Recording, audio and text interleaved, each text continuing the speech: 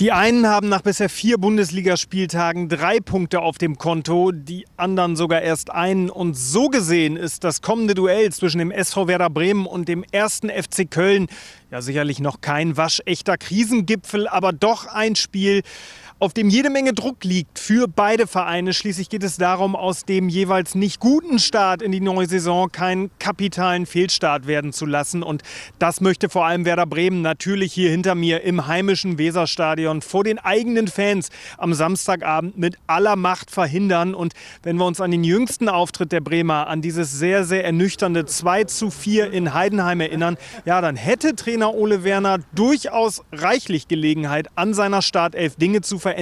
Und ich habe auch das Gefühl, das wird er tun. Es könnten einige Neuzugänge ihre Premiere im Weserstadion feiern, zumindest in der Startelf. Das Heidenheim-Spiel hat da Ansätze geliefert, die dafür sprechen würden. Fangen wir vorne an. Raphael Boré im Sturm könnte David Kovnatski ersetzen, der in Heidenheim keinen guten Tag erwischt hat. Gemeinsam mit Marvin Duck stürmen.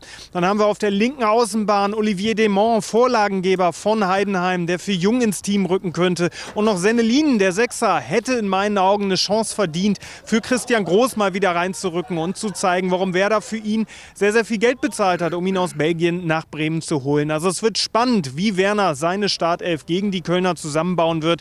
Kapitän Marco Friedl hat er ja während der Pressekonferenz die Einsatzgarantie verweigert. Wir erinnern uns, der musste unter anderem er in Heidenheim zur Pause raus. Ich könnte mir aber gut vorstellen, dass Friedl gegen die Kölner doch wieder zur Startelf zählt, wenn es denn körperlich geht. Er hat eben im Abschlusstraining einen Ball, wenn ich es richtig gesehen habe, aus kürzester Distanz ziemlich hart in die Rippen bekommen und hat sich auch eben noch beim Gang vom Platz immer so in die Seite gegriffen. Also das müssen wir abwarten, ob das gesundheitlich überhaupt geht. Falls ja, denke ich, dass der Kapitän spielen wird.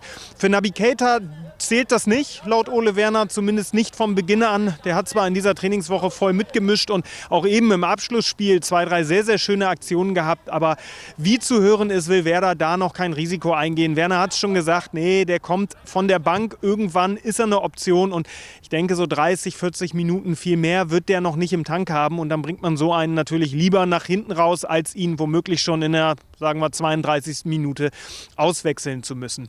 Klar ist, Werder muss gegen Köln was zeigen, muss was liefern. Am besten so ein Auftritt wie gegen Mainz hier vor zwei Wochen, als es diesen begeisternden 4 zu 0 Sieg gab und die Mannschaft ja gezeigt hat, dass es grundsätzlich geht. Das Heidenheim-Spiel hat dann aber doch wieder dafür gesorgt, dass die Stimmung hier im Bremer Umfeld ja, passend zum beginnenden Herbst dann doch ziemlich frostig geworden ist. Denn diese Bilanz von 23 Bundesligaspielen im Jahr 2023 bis dato, von denen eben erst fünf gewonnen wurden, die hat jeder vielleicht nicht zahlenmäßig, aber doch gefühlt irgendwie im Kopf, so in den Klamotten. Und ja, dem muss Werder jetzt einfach wieder was entgegensetzen. Werner hat es während der PK gesagt, das interessiert mich alles gar nicht. Wir konzentrieren uns nur auf die Dinge, die wir direkt beeinflussen können. Und da geht es dann eben darum, Siege und Punkte zu holen. Und damit das hier in Bremen kein ungemütlicher Herbst wird, sollte Werder gegen Köln damit anfangen.